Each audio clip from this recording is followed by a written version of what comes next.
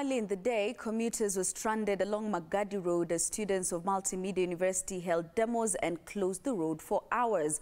Police were forced to lob tear gas canisters at the students who claimed officials of poor management, with some saying the officials were high-handed.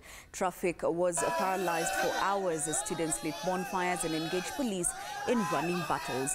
Student leaders have vowed not to go back to class until the matter is addressed.